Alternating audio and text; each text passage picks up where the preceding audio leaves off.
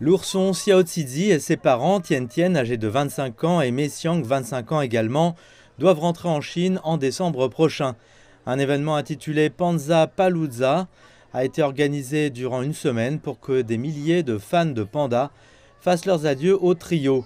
De nombreux visiteurs du zoo se sont présentés sous un samedi pluvieux pour voir les ours noirs et blancs et ont participé à des activités familiales ayant pour thème les pandas géants. J'étais un peu triste. Ils ont été là durant toute ma vie, mais j'ai hâte qu'ils retournent chez eux et j'espère qu'ils seront à nouveau enracinés. Vous savez, ils nous apportent tellement de joie. Je regarde Pandacom chaque jour.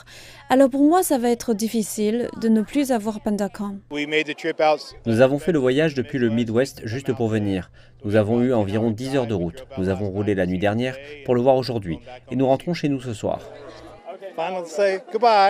Un dernier mot d'adieu, merci beaucoup. J'espère que nous aurons d'autres pandas à l'avenir.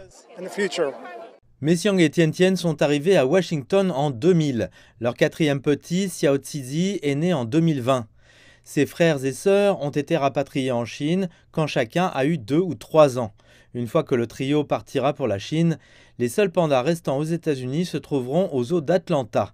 Mais il est prévu qu'ils retournent également en Chine l'an prochain. Le personnel du Zoo national de Washington espère que son programme de pandas se poursuivra, parlant de ses contributions à la conservation des pandas. Le ministère chinois des Affaires étrangères déclare que la Chine est prête à continuer à travailler avec ses partenaires, dont les États-Unis, pour renforcer la coopération en matière de conservation des espèces menacées.